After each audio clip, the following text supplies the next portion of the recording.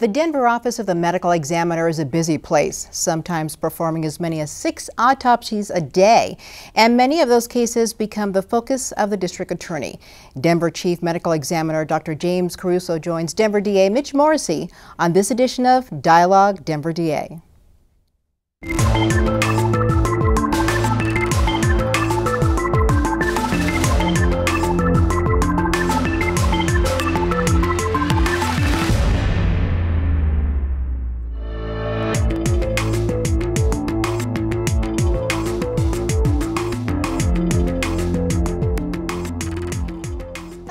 I'm Tamara Banks. Mitch, so great to see you again. Good to see you, Tamara. I'm really excited about our guest, Dr. James Caruso. Thanks you so much for being here today. Thanks for having me. You've been in Denver for just under two years, coming from Tennessee. How do you like us so far? I love Denver. uh, I never saw this on the horizon for our future, but uh, when the offer to, came, to come to Denver came up, uh, we jumped at it. Great. Well, we're glad to have you. And a lot of people don't really understand all that goes into your job as a medical examiner, Emmy, as we hear a lot. Tell us a little bit about your duties and, and what they entail. Well, the, the Office of the Medical Examiner is charged with uh, assigning cause and manner of death uh, to any death that occurs in the city and county of Denver. Now, many of those deaths do not need intervention from the Office of the Medical Examiner, but the ones that do are deaths that occur uh, suddenly, unexpectedly, uh, violent deaths, uh, or deaths that are just completely unattended by any medical personnel. And so how is that different from a coroner? Well, a coroner is an elected position, and Colorado is a coroner state, so there's a coroner for every county in the state of Colorado. I happen to be the coroner for Denver County. Uh, however, uh, Denver is the only county that requires their coroner to be a board certified forensic pathologist or medical examiner. And so I wear two hats. Uh, coroners will sign death certificates and they will assign cause and manner of death, but if they're not forensic pathologists, they have to have a pathologist perform the autopsy.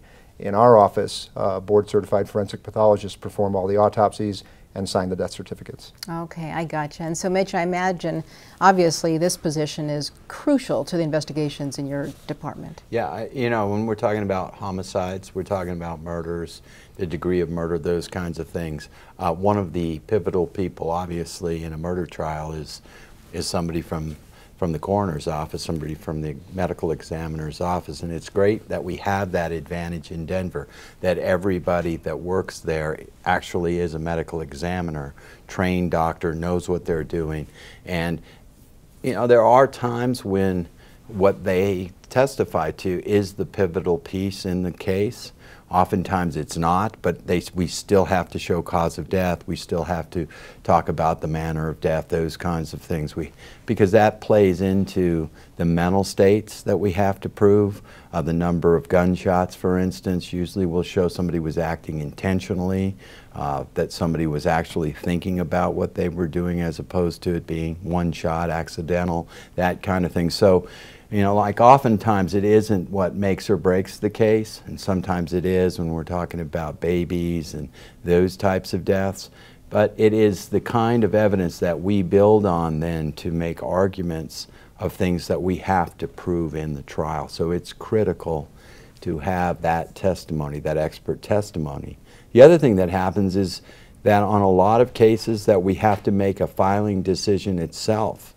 Uh, we rely heavily upon what is found there uh, as far as you know how intoxicated the person was, was the cause of death, uh, something like a heart attack as opposed to somebody being choked, that kind of thing. So what I really rely on them for is do I make a filing, do I file at all? You know, here we've got a death, a police officer may have been involved or a sheriff, but is it, is it, it may be called a homicide, by the doctor, but is it technically, legally, something that I can prove as one of those homicides that is a crime in Colorado? So, mm. you know, I've uh, many a time relied on the coroner's office to not, you know, make a filing at all. And so you don't charge somebody because you can't prove it. And I think that's as important as anything else that we do. And you don't want to falsely file or accuse somebody of something as serious as taking somebody's life right. if you can't prove it. And you guys are some of the best in the nation. I understand you're nationally accredited. What what are some of the things you're doing that sets you uh, above the others? Well, the National Association of Medical Examiners accredits uh, medical examiners' offices, and uh, there's only five offices in the state of Colorado that are accredited. Uh, Denver is one of them, and there are fewer than 100, probably fewer than 75 uh, nationwide. So, um, what that- means is that we adhere to some generally accepted uh, collegial standards that uh, the medical examiners as a whole nationwide have set as a bar for performing autopsies, uh, tracking evidence, tracking lab tests, um, uh, getting autopsy reports out in a uh, reasonable time frame, uh, interacting with the families, the next of kin. And we're about to have our uh, reaccreditation come up in the next couple weeks, and one of the uh, one of my colleagues uh, uh, is a medical examiner on the East Coast. Will be traveling here, and he will run us through the ringer and make sure we're still doing it right.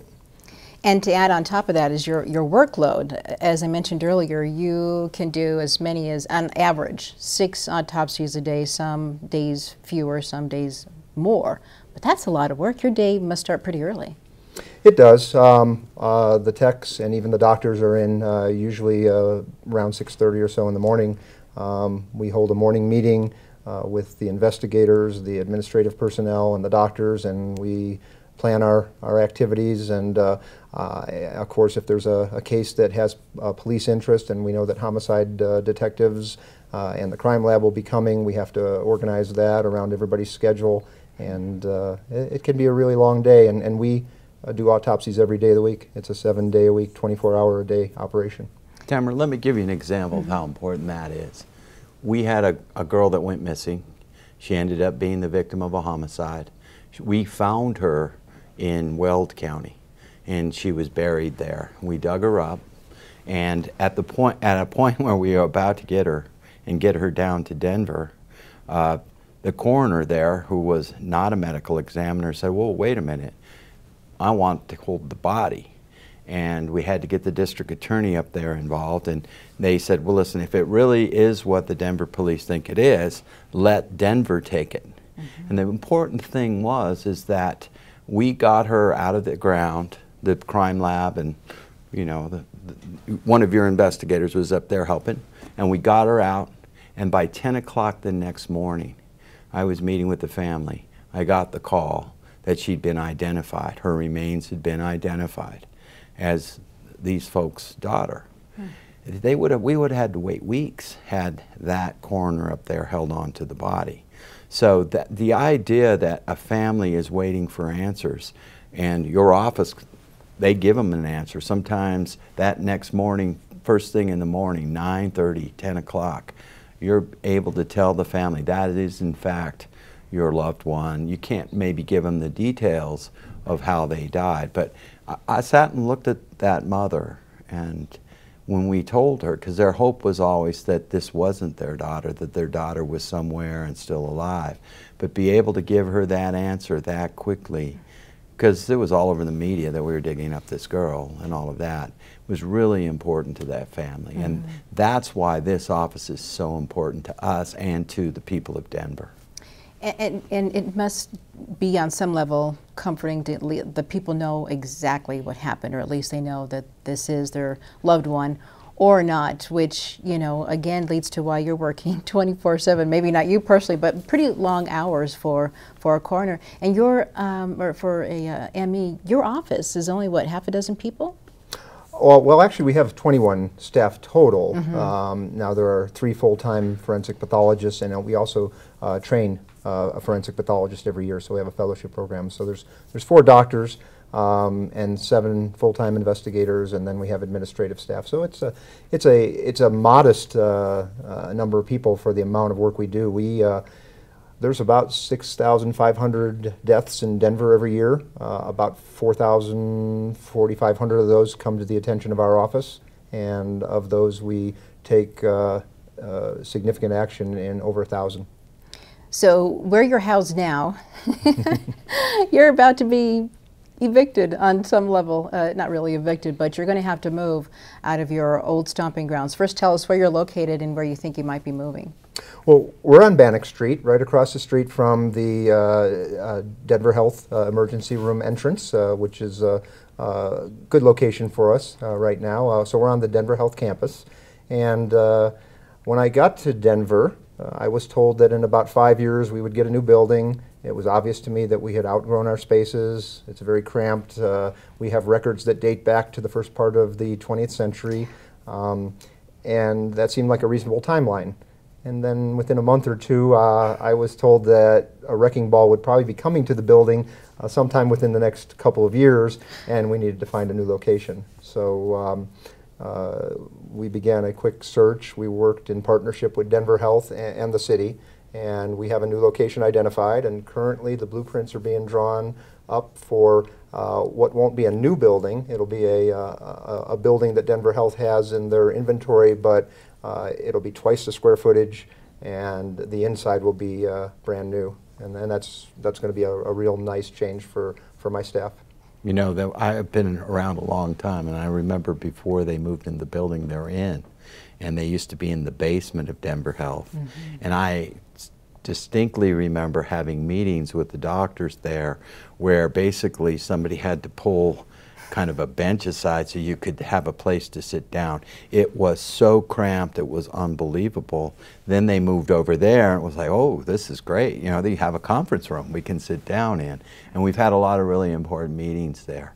But like so many things, like our crime lab, those types of things, the space just gets eaten up and, you know, it's, uh, it's interesting to come in and have that dropped on you with that short a notice. But you know, the nice thing about it's always been close. Mm -hmm. And it, the, it sounds like it'll be a little further drive for us, but, you know, obviously the facility is important. Having the equipment can speed things up, make things better. So, you know, we certainly understand that the change is, is it's timely.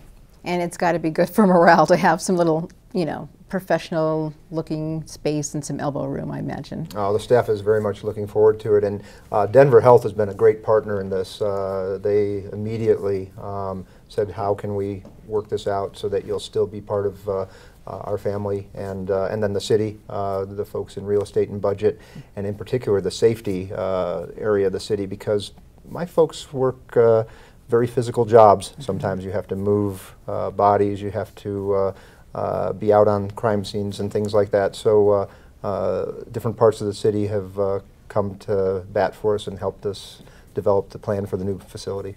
So let's talk a little bit more about that. It's not exactly the most glamorous job you can have. What drives you to want to do this kind of work? Well, um, you're right. Uh, the, the TV shows depict, uh, you know, uh, pumps and high heels and, and glamour and CSI, and, and it's none of that. Um, uh, it's uh, very difficult work uh, and under some extreme circumstances, but the bottom line is that, um, as Mitch has already said, we need to find closure for the families. we need to give them an idea of what happened to their loved one.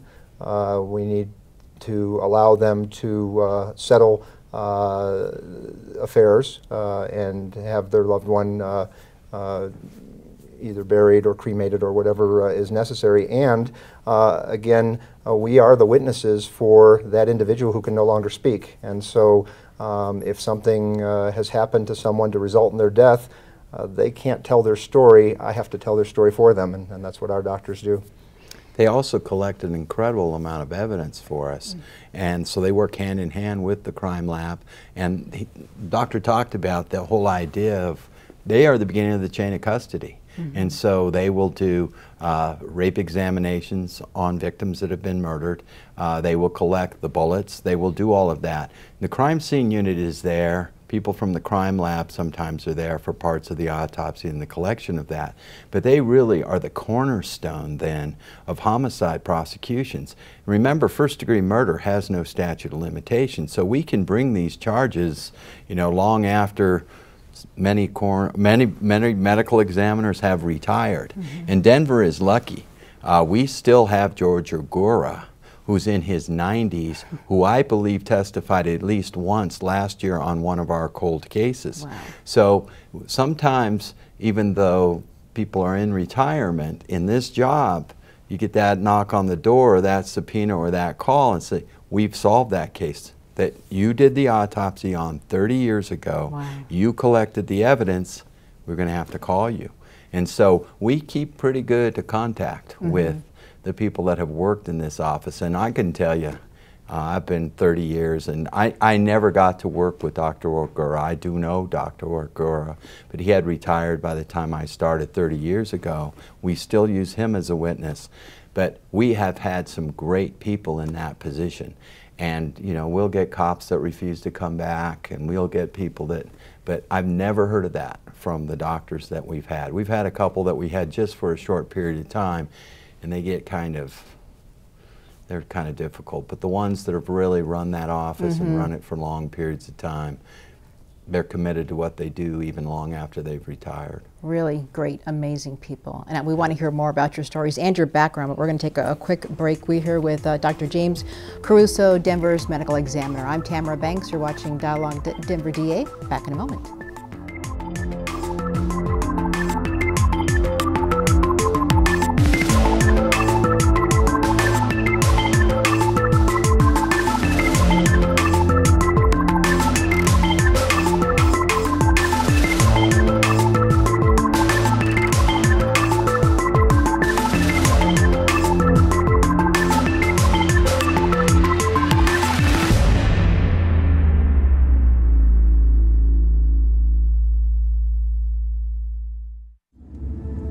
On average, I spend eight hours a week on the road.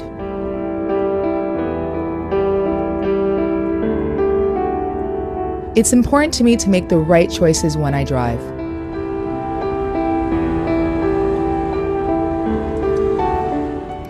And she's the reason why I support MADD.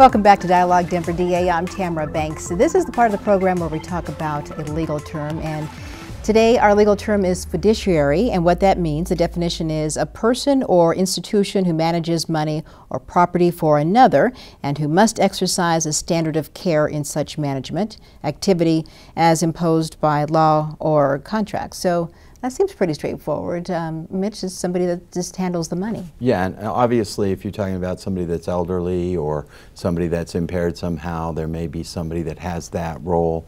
Uh, you see trustees in different settings, that type of thing. But where we see it is where the fiduciary is not doing what they're supposed to be doing and they may be siphoning off money.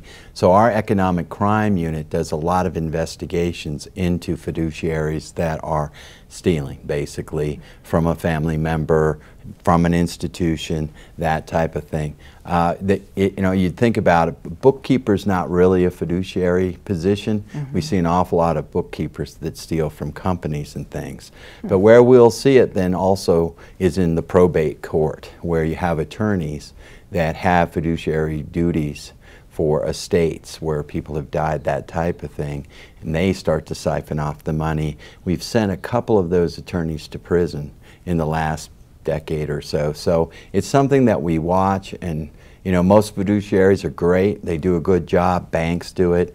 Uh, but every now and then they get greedy, they start to steal, and that's when we get involved. Right, right. Okay. Well, back to our, our guest here, Dr. James Caruso, the medical examiner for uh, Denver.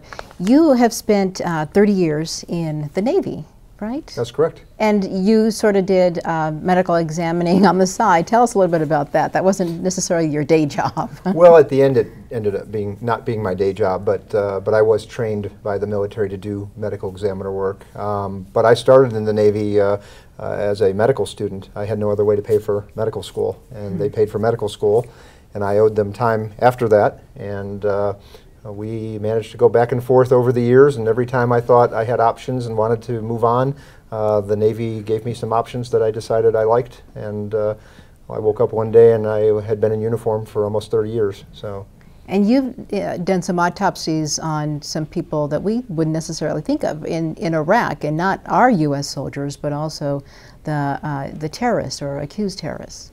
Uh, that, that's correct. Um, uh, I was a I was the deputy chief medical examiner for the Department of Defense, uh, and so uh, as such, any case that was of interest to the Department of Defense that needed a forensic autopsy would come under our jurisdiction. Um, deaths in custody are very, very important and high-profile deaths, and so anybody who was in Abu Ghraib prison, for instance, and died, or anybody who was in the custody of the U.S. forces, uh, perhaps being questioned or detained and, uh, and died, uh, required a forensic autopsy. And so um, I and several of my colleagues who were on the staff with me uh, would go over to Iraq and do autopsies uh, in a combat zone in some very, very meager conditions. The, the pressure to do that must have been incredible, not just to be in that combat zone, but I wonder too to have the the freedom to kind of give the results that you think are, are, are true. Yes, uh, and, and you know that, that exists in any medical examiner office. Uh, certainly there are parties that will not like your answers, uh, whether uh, it, it's, uh, you know, the, the DA's office sometimes uh, may not agree with what we find or not like the answers they're getting or other, or law enforcement, but you have to be transparent, you have to be straightforward, and and you have to be factual and scientific in your approach. And when you take it to the federal level, uh, then it becomes even more uh, of a, uh, uh a potential conflict. Uh, I can say, though, that nobody ever coerced me or strong-armed me to uh, make any designation other than what I felt was to be true. And, and I can say that both at the, at the federal level and at the local level as a practicing medical examiner. So Mitch, we must be pretty lucky to have this kind of expertise to, here in, oh. uh, in Denver. Yeah, and the fact that, that everybody there is a medical examiner, that, that's so big because in these jurisdictions, especially the smaller ones where these people are elected, they don't have to even be a doctor necessarily. So you might get the local mortician uh, that's why I was telling you the Weld County story because that that person, you know, there were a couple of different times where I got some pretty frantic calls from that crime scene. And you know, we were there to dig this girl up. We were going to be there till we got her dug up. We weren't going to take a break at four and go home. And, you know, those were the kind of things that this guy wanted to do. And it was like, whoa, wait a minute. And you know, I have seen medical examiners at crime scenes with me where the body's there at 3 in the morning in Denver. That's the kind of service that we're used to. So yeah, it's a huge advantage to us. I want to talk about the, this research that uh, you're uh, embracing around suicide deaths. Uh, tell us a little bit more about that and how that's coming together. Well, as much as uh, I've fallen in love with Colorado uh, and Denver, um, it perplexes me that we have such a high suicide rate. Um, you know, with all the sunshine and outdoor activities and beautiful weather, uh, Colorado actually has a fairly significant uh, suicide rate compared to other parts of the country. And so um, that question has come up quite often. Uh, why is Colorado's suicide rate high? Why is Denver's suicide rate uh, high?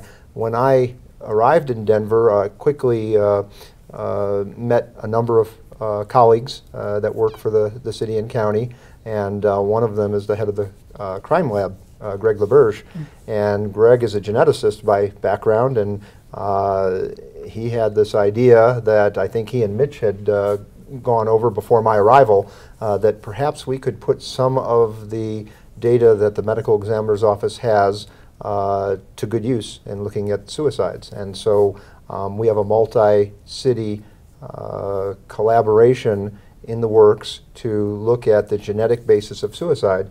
And we will, um, in partnership with the University of Colorado uh, Medical School, uh, look at uh, all of our suicides and try to come up with any commonalities in the genetic uh, uh, database that we have uh, for maybe a potential predisposition to folks that take their own lives. That's pretty incredible to, to think that perhaps it's genetic, and that means possibly then there could be some treatment on the front end before somebody takes their life. Yeah, if somebody has the genes for it, it'd be something to watch for, and mm -hmm. and I think that that it really shows the true nature of the collaboration of things. You know, Greg had we we talked about this. Well, you know, every all of the there's a blood card for everybody that committed suicide over at the uh, the ME's office that can be genetically tested for this type of study. It's a medical study. It's not really anything that we're all involved in in the criminal justice system, but certainly the suicide rate is a very big concern for all of us. So the idea to have that, and then Dr. Caruso comes in and yeah, he's all for it. And he says, oh, we'll get other cities. And he uses his collaboration in his field and gets other cities involved. So it's an exciting thing. I think that it helps scientists stay fresh and to continue to do kind of that science, asking those kinds of questions. I know that's important when you're doing the day-to-day -day grind, that to set aside a little time to do something that's scientifically, research-wise important to your community. So I just think that things like that are, are great. Right, that collaboration can really save lives. Let's talk a little bit about the, the program called NamUs. Am I pronouncing yeah. that correctly? Yeah, NamUs. Mm -hmm. And it, it's, you know, it stands for the National Missing Persons, you know, I'm not exactly sure, but, you know, it was really started by a call by MEs across this country that had a lot of unidentified remains. And so what the National Institute of Justice did is it called on the, uh, the uh, National Forensic Science Training Center to build a system which is a computer-based system which allows you, if you have a missing person, to go online, put down details about your loved one who's missing.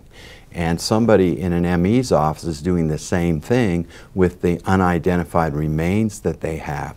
So if somebody's had a hip replacement, they're putting down what those medical devices were, what their you know, numbers are, that kind of thing, tattoos, anything unique about the person, dental records, DNA, that type of thing. And you can go online then, type in your missing persons uh, details, and the computer may hook them up. And nationally, you'll read about these kinds of remains being identified. There was one up in Boulder not all that long ago.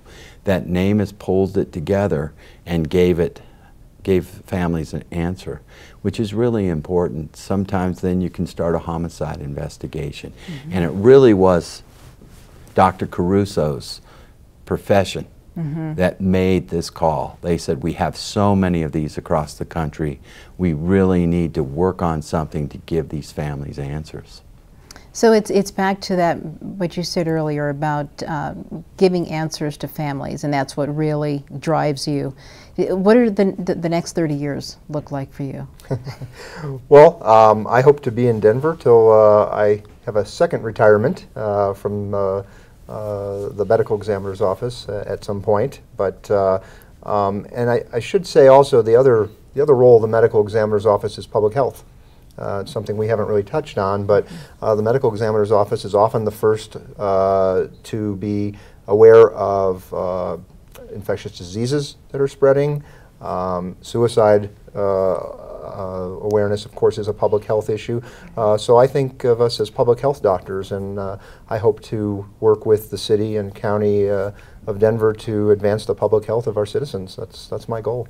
That's great. Well, it's great to have you here in Denver. We're, we're, glad that we took you from Tennessee, and, and hopefully the winters won't be too difficult on you, and you'll stick around a, a, long, long time. Doctor, thanks so much for being with us. Uh, thank you to Dr. James Caruso, Chief Medical Examiner in Denver, for being our guest today with Denver DA Mitch Morrissey on this edition of Dialogue Denver DA. I'm Tamara Banks. We'll see you next time.